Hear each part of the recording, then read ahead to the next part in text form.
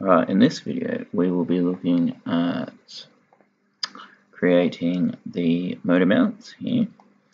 So basically what these here do is they hold the motors up in the middle of the robot uh, so that the wheels are equally different from the top and the bottom so that we don't have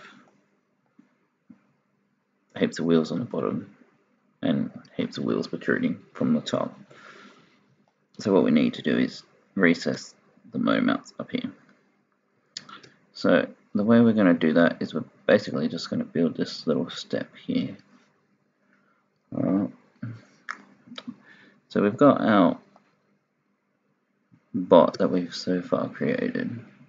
So what we want to do is we want to, first thing we want to do is we want to create these holes on the side here. That's where our motors are going to poke out so that our wheels can connect to them. Right, so I'm going to right click that, go create sketch. Right. Now we're just going to measure from using a line tool here. It's going to measure from here is that we know we want to come in um, to fit our motor mounts which are 34 millimeters long. So we know the halfway point is going to be 17 millimeters long. So while we're sketching here, is let's sketch here and go 17 mil. So if we're up, if we just type in 17, push enter, that's going to be our middle base. Alright, so now what we need to do, we need to create a line.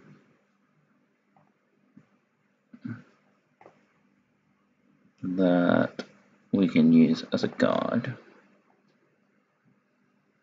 for to find the center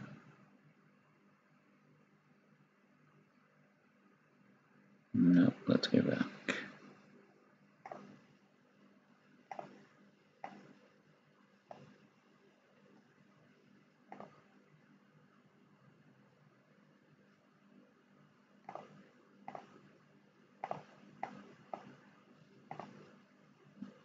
Alright, so we need to create a line along here that's 17 millimeters long.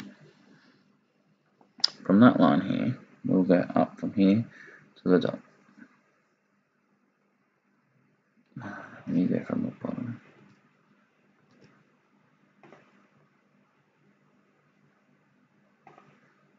So we create a line along here that's 17 millimeters long. That's going to take us to the middle of our motor where we want our motors to sit. We're going to go from the bottom straight to the top. Right. Now this line here is going to give us our center point. See how it creates that triangle there. So now we know that's our center point. So what we can do is we can go rectangle, center rectangle, we'll go find that center point again there. Alright, and create our hole. So we know that our height is 10 millimeters. If we push tab, and 12 millimeters wide. We push enter.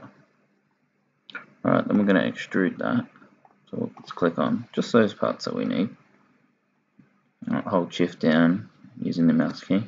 What you can just do very simply is grab that arrow and just drag it backwards. And you'll see that that's extrude. And it's also changed it here to extrude cut and it'll cut through. So if we push OK, it'll cut those two holes out for us. Alright. So now the next thing we need to do is to create that step here. Alright, so we can right click, create sketch on the bottom, bring it into 2D mode. Now that we know that the distance between here, we can check it by clicking on that point to that point us is 11 mil, which is what we want, yep. So then what we can do is we can create a step this way. So we know that our we want our step to be 10 millimeters wide and we want it to be 34 mil in depth. So then we push enter and we've got that one there. We'll do the same on this side here. So we want 10 millimeter 34 tab 10. Nope. 10. And we enter there. Alrighty. Now we can also, because we want to have part to hold the motors in the middle here. Alright, we can just draw between those two points there. Alright, now using our trim tool, get rid of these lines.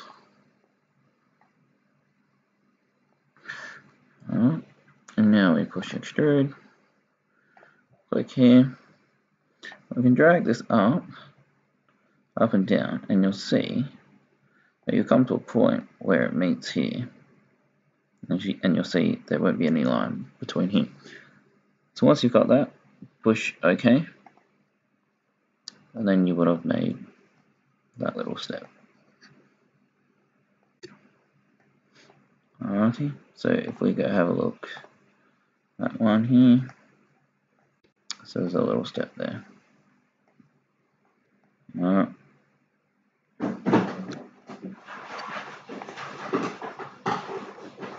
Now, the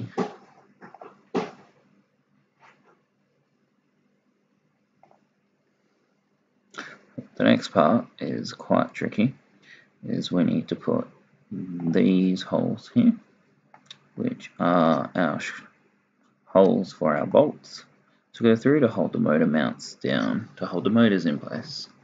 So very simply, uh, it's not a very simple task, it is quite complex, but you need to create sketch on here.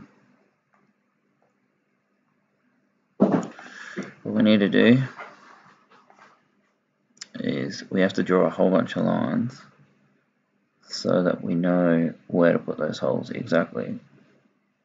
So we go off this line here, which is our line for the side of the motor.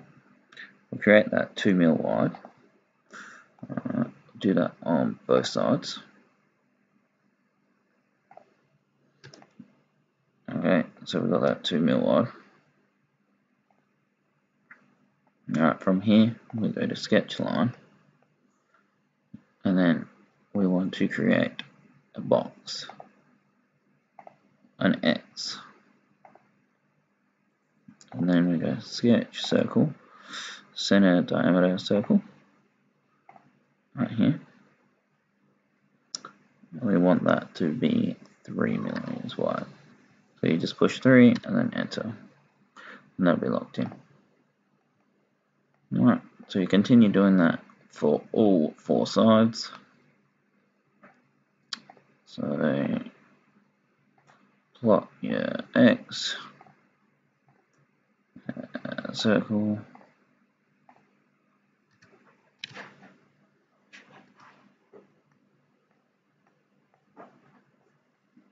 There could possibly be an easier way to do this. You could also do this by mirror using the mirror tool, which is sketch. Um, you'd have to have a separate plane here. I find it's just just as easy to just draw it out quickly. That one didn't give me the diameter that I needed because I clicked it too early.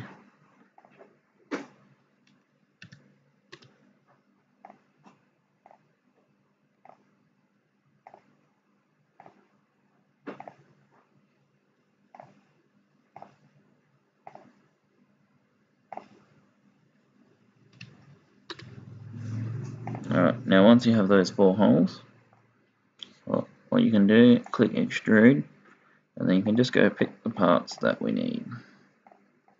So we don't have to trim those Um, you can if you want to, but you can just click the parts that you need.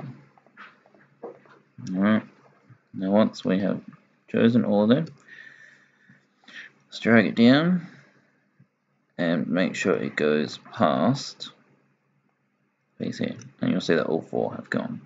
Click OK, and there we have it. So we've got our holes um, to mount our motors.